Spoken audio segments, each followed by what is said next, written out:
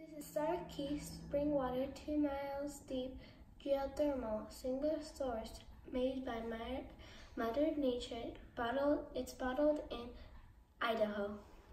Let's pour some water in.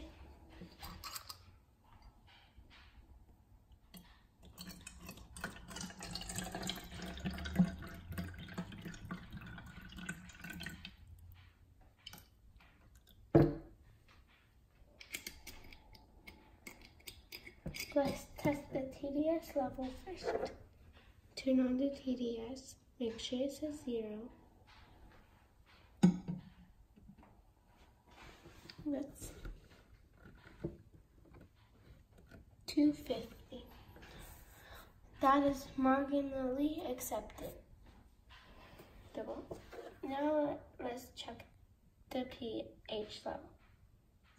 One, two.